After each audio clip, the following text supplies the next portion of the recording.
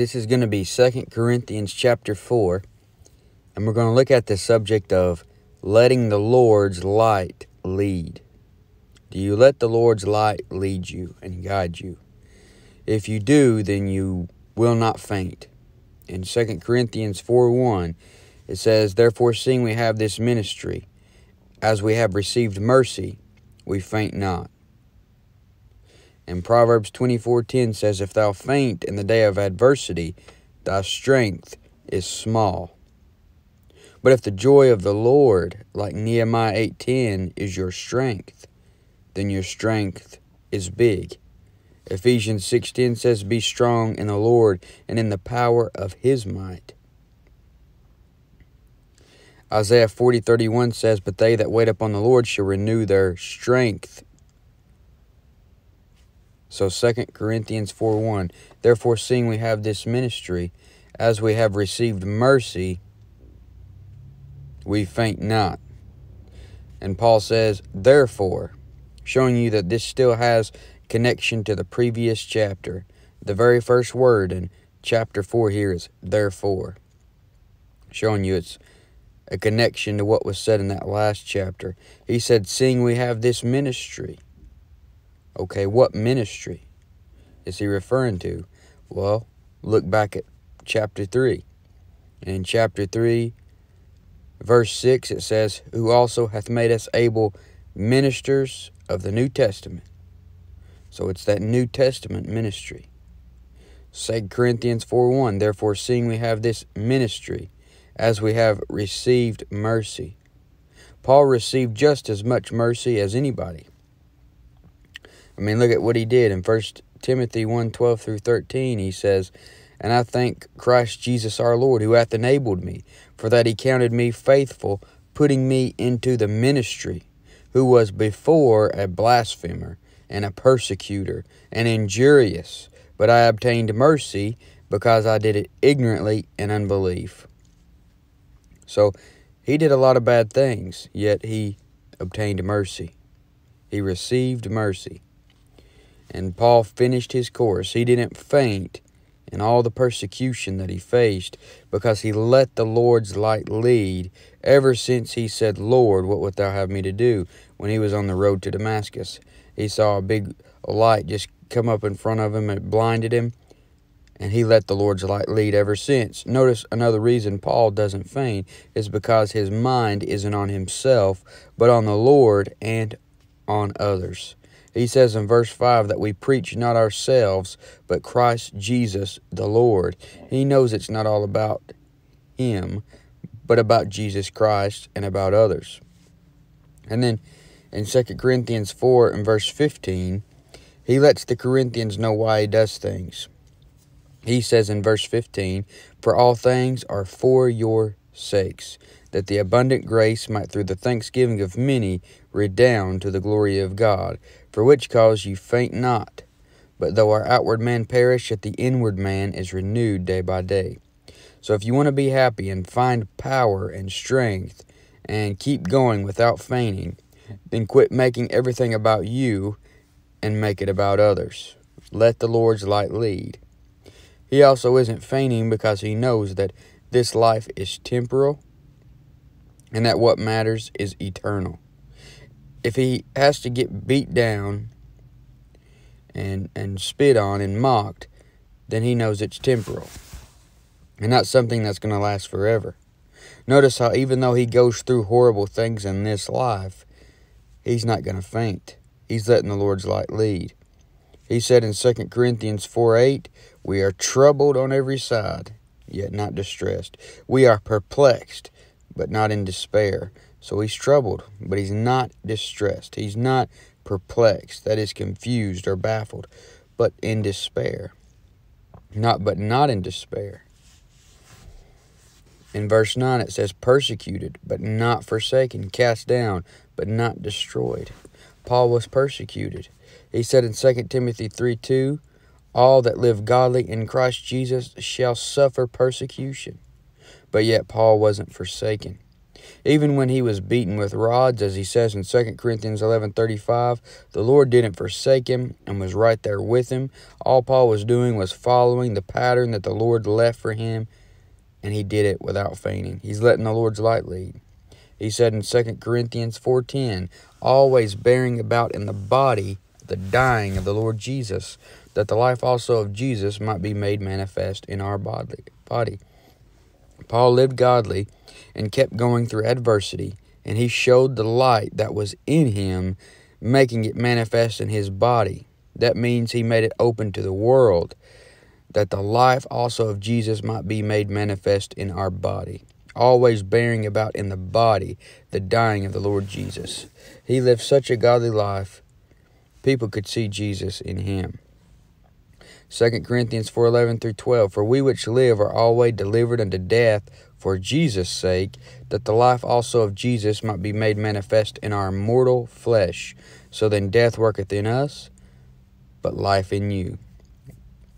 Paul knew that this mortal flesh is dead and his mind was on an eternal glorified body eternal rewards and an eternal home with the Lord Jesus Christ. This is why he doesn't faint his mind isn't on the temporal, it is on the eternal. 2 Corinthians 4:17 For our light affliction, which is but for a moment, worketh for us a far more exceeding and eternal weight of glory. Anything that might make him faint on this world is nothing more than a light affliction. Paul was put in prison for preaching the gospel, and he says that is nothing. It, it's a light affliction. Being put in prison is nothing, it's just a light affliction. And these light afflictions are nothing compared to the glory that we are going to get in eternity if we've suffered for the Lord Jesus Christ here.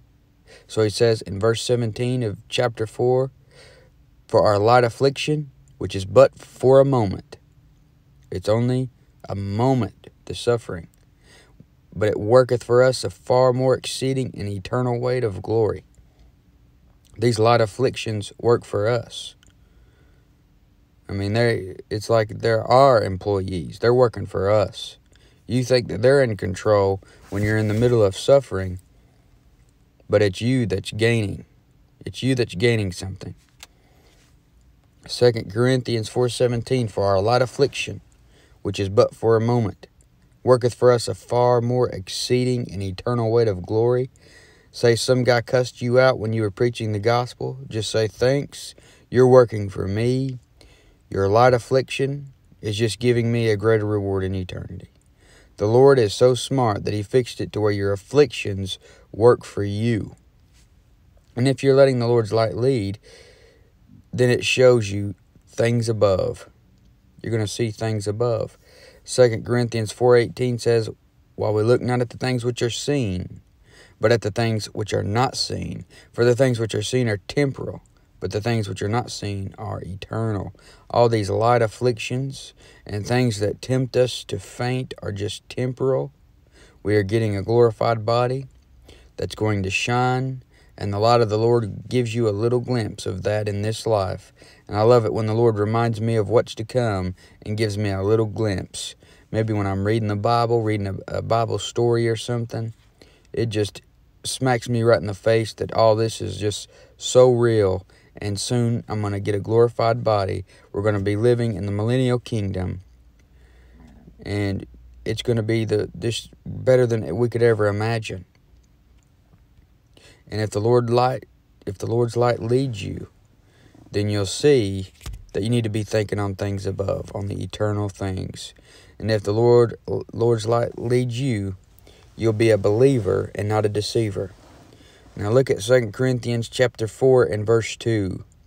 But have renounced the hidden things of dishonesty, not walking in craftiness, nor handling the word of God deceitfully, but by manifestation of the truth, commending ourselves to every man's conscience in the sight of God. So renounced means disowned or rejected. Paul is saying he rejects the hidden things of dishonesty. Something might appear godly, but it's actually a lie. And this is because Romans 3 4, God forbid, yea, let God be true, but every man a liar. Every man is a liar. Sometimes he may appear godly, but he's a liar. Psalms 58 3 The wicked are estranged from the womb, they go astray as soon as they be born, speaking lies. And they walk in craftiness, they handle the word of God deceitfully. But if you're a believer and not a deceiver, and you're letting the Lord's light lead you, then whatever the Bible says settles the argument for you. You're not going to handle it in unrighteousness. Like it says in Romans 1:18, for the wrath of God is revealed from heaven against all ungodliness and unrighteousness of men who hold the truth in unrighteousness. There are really educated men out there that they get the Bible, they got it in their hand, they hold it in unrighteousness because they set out to change it. These men walk in craftiness, they handle the Word of God deceitfully, they see what they can change or take out of context so that it fits their belief or makes them look better, but they're not Bible believers. But if you let the Lord's light lead, then it leads you to faith in the book and not faith in your own intellect. And some men think they are smart enough to correct what God says and therefore handle the Word of God deceitfully. They hold the truth in unrighteousness. Many times, people that I train at work, uh, they think they know more about the job than I do, even though they just started. And I'm always confused by that. And then it's like God says, Why are you so surprised? They think that they know more than me, and I'm God. Uh, sometimes we think we know more than God, even though He's been around longer. He made us. I mean, He sees the beginning from the ending, so why would I think I know more than God does?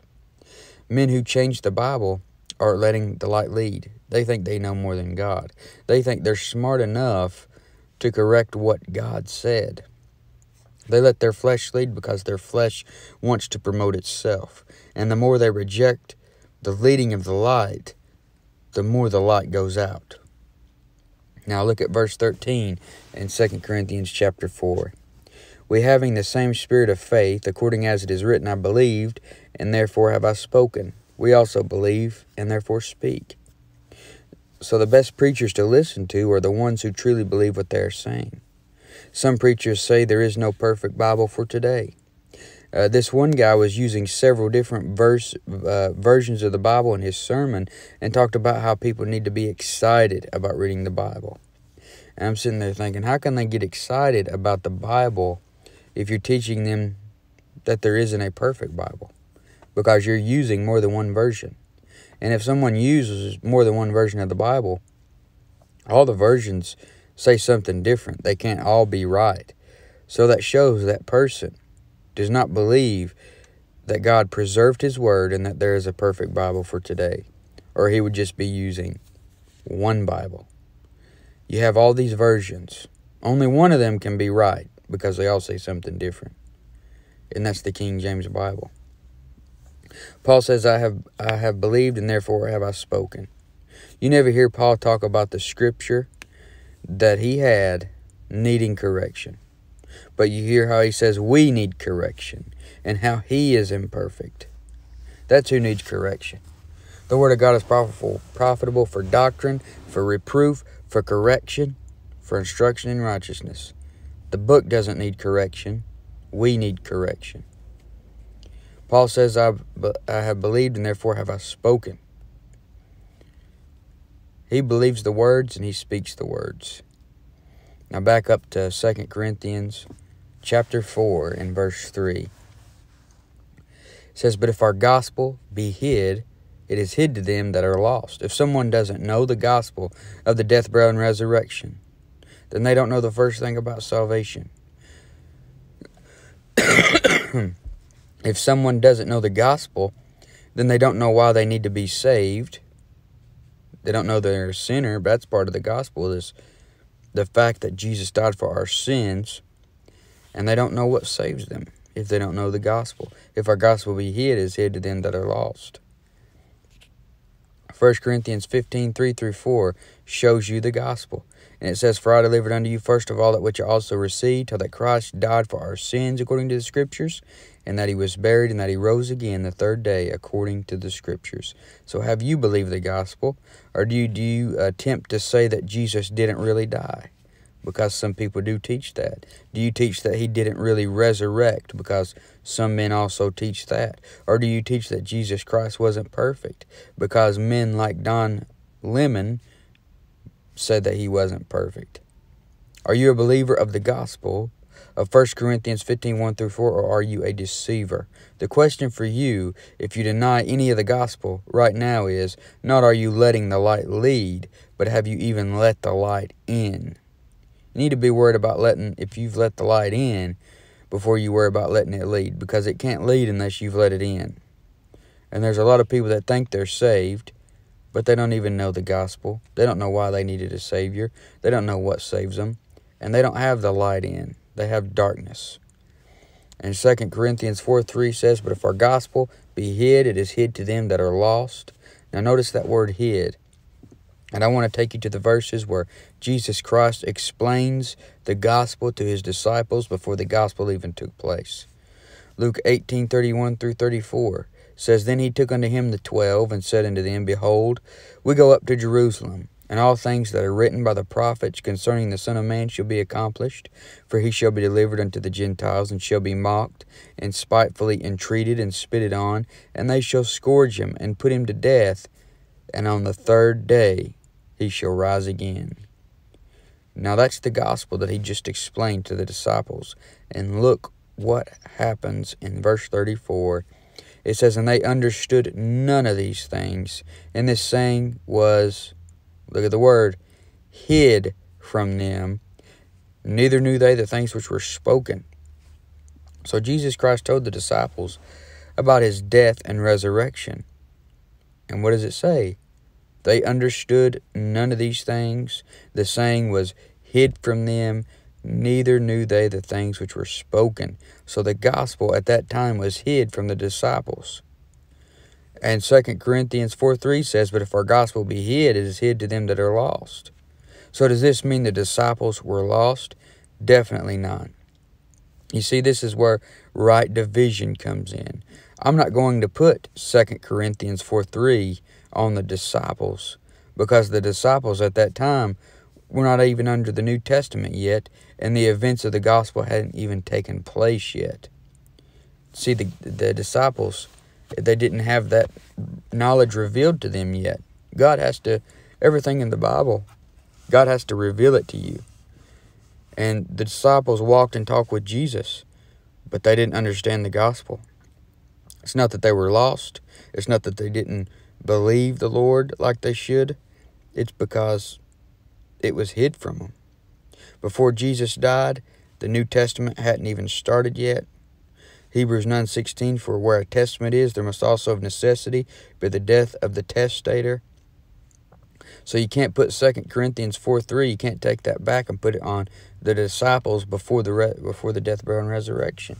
That's wrong division. Just like a lot of things in the Old Testament and in the Gospels, I can't move forward and put it on me in the New Testament. It's right division. We believe all the Bible, we believe that we can get something out of every verse in the Bible, but not every verse applies to each person who ever lived. Some apply to people in a different age. That's right division. Never forget the proper divisions of the Bible. Even if you don't like to be referred to as a dispensationalist, you still need to recognize proper, proper divisions in the Scripture. So, are you a believer or a deceiver? If you're letting the Lord's light lead, then you're a believer. And the God of this world doesn't have the blinders on you. Sometimes he likes to pull the wool over the eyes of the sheep. Now, 2 Corinthians 4 4. in whom the God of this world hath blinded the minds of them which believe not, lest the light of the glorious gospel of Christ, who is the image of God, should shine unto them. So the God of this world is the devil himself. He blinds minds. He puts the blinders over the eyes of the sheep, turns them into a deceiver and not a believer. And Titus 1.15 says, Unto the pure all things are pure, but unto them that are defiled and unbelieving is nothing pure, but even their mind and conscience is defiled. The devil has blinded someone mind, someone's mind there. But Romans 12 2 says, And be not conformed to this world, but be ye transformed by the renewing of your mind, that you may prove what is that good and acceptable and perfect will of God. So if you've had the blinders on your mind for years, get out the Bible, be not conformed to this world, and be transformed by the renewing of your mind. 2 Corinthians 4 4, in whom the God of this world hath blinded the minds of them which believe not, lest the light of the glorious gospel of Christ, who is the image of God, should shine unto them. The devil is a believer and a deceiver. He believes the Lord's light will lead you to the right way, but he doesn't want you to even let the Lord's light in your soul. He doesn't want you to believe that Jesus Christ is the image of God. Paul plainly shows us that he is in Colossians 1:15. He says, "Who is the image of the invisible God, the firstborn of every creature." And Jesus even said himself in John 14:9, Jesus saith unto him, "Have I been so long time with you, and yet hast thou not known me, Philip? He that hath seen me hath seen the Father. And how sayest thou then, Show us the Father?" But the devil will put doubt and deception in your path because he doesn't want you to see Jesus Christ on your road to Damascus like Paul did. Jesus appears to Paul as a bright light.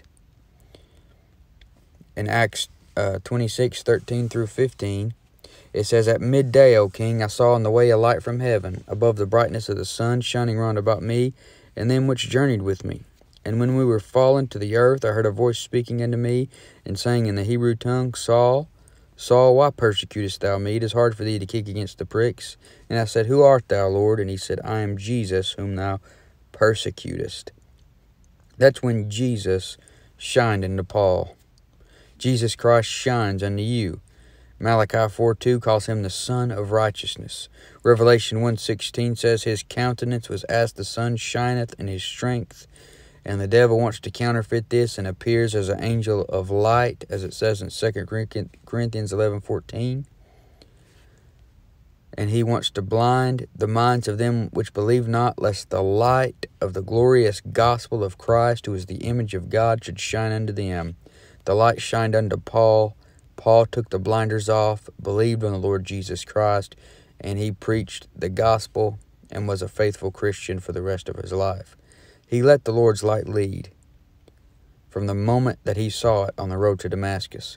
If you let the Lord's light lead, you'll realize it's the Lord's world and you're just living in it. That's the next point. The devil is only the God of this world because the Lord lets him be. The world is still the Lord's, and he is the one that made it. It's his world. You're just living in it. And if you let the Lord's light lead, then you'll see you're nothing and He is everything. You'll see it as a privilege to be alive and breathing and able to walk around on the world that God made. It says in 2 Corinthians 4 5, For we preach not ourselves, but Christ Jesus the Lord, and ourselves your servants for Jesus' sake. So if you're the creature and God is the creator, then you're weaker and God is greater. So why would you preach about you? Paul says, For we preach not ourselves why exalt yourselves or do things that would cause you to get the glory? Paul preached the Lord Jesus Christ, for we preach not ourselves, but Christ Jesus the Lord. And he was a servant to the Corinthians for Jesus' sake. Paul served others because he loved Jesus Christ. Jesus served others, and Paul was following his pattern. He realized it's the Lord's world, he's just living in it. Romans 15:3 For even Christ pleased not himself so, the advice a lot of people give is think about yourself first.